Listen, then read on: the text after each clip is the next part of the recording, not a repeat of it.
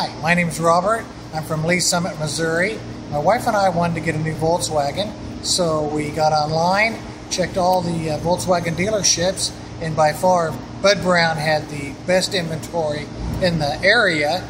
So we came all the way over here to Olathe, had a wonderful experience, was immediately met by the internet manager Roger, who knew exactly what we wanted, had the car ready to look at. Max, our salesman, was a super salesman. He sat down with us. Mr. Phil Brown, the owner, came over personally, shook hands. What a wonderful personality.